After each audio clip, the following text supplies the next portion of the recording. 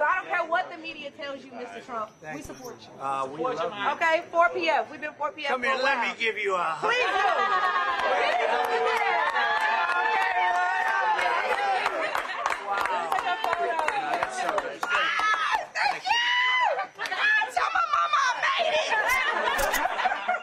Unbelievable. Donald Trump getting an enthusiastic welcome as he talks to supporters in Atlanta while treating them to Chick fil A. Meanwhile, at the White House, President Biden is hosting the A list celeb as well as the Clintons for a five star state dinner and only taking specific questions. Watch. Third, next question. Who do I call on next? Hang on a second. I got my list here. Fox News contributor Bill McGurn joins us now. So, Bill, I, I want to go to where we started off. Is it's that supporter of the president? She comes up to the president and says, "I don't care what the media says. We support you." Do you think there's a lot of Americans out there, even in black communities, that feel the same way? Yeah, Lawrence, the polls are showing it. Joe Biden's support is dropping with traditional Democratic demographics like the young, Latinos, black men, and so forth. Um, I would say that any Trump supporter has to be despite what the media says. In fact, I think the media criticisms probably help Trump because a lot of people think it's so unfair. Yeah, Bill, what do you think this election is going to go to? Is it going to be about the coalitions that Joe Biden is losing? Or do you think it's going to be more about the people that are just going to stay home? Or is it this new coalition that Donald Trump is gaining on? It's not just black voters, but it's Hispanic, more young voters. It's, it's the choice of staying at home or switching your vo- vote over to Donald Trump, right? Yeah, well, that that's a question, and that will depend depend on how they campaign. You know, if Joe Biden tries to do another hide in the basement, just pop his head up for prearranged questions, um, that's one thing.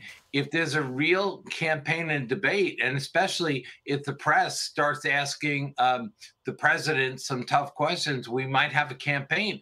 You know, when you're the president, you have to campaign on your record. That's one of Joe Biden's disadvantages from 2016. This time he has a record. In my view, it's not very good. Mm-hmm. It, it looks like, Bill, they want to campaign on the, the threat to democracy. We had Eric Trump on yesterday. He has some thoughts on that. Watch. This is an administration who's let close to 15 million illegals into this country, has flown 320,000 illegal immigrants into the United States. They've let wars break out all over the globe. And he's saying that, that Donald Trump is, is the threat to U.S. democracy. We're losing everything under Biden. We lost Afghanistan in the most embarrassing fashion ever. Our military is not as prepared as it was. And Donald Trump, who had none of these problems, is the threat to democracy. It's a joke. And just to add on that, Bill, you got a court system that, that now is targeting poli- political opponents right now. I think that's a threat to democracy. Wouldn't you agree? Yeah, I agree with you. Um, I'm not sure that dog's going to hunt, um, but that might be Joe Biden's best uh, strategy. He can't run on the economy. You know, we just got inflation news. He, he he he can't run on foreign policy. He lost Afghanistan in a humiliating way. Um, he's not giving Ukraine what needs to win when he says he supports them. Same with Israel. He supports their right to defend itself, and then he chops them off at the knees anytime they want to do something. So I, I think if I were Joe Biden, I probably wouldn't want to campaign on my record. Look, they got a bad product to sell. Mm-hmm. The Biden record, and they got two of the worst salesmen to sell it Joe Biden and Kamala Harris. That's why all the former presidents are at all the events because you can't run Joe, but you have to run Joe. The rest of them are term limited. Uh, Bill, thanks so much for joining the program. Thanks so much, Lawrence. You Have a good day. You too. I'm Steve Doocy. I'm Brian Kilmeade. And I'm Ainsley Earhardt. And click here to subscribe to the Fox News YouTube page to catch our hottest interviews and most compelling analysis.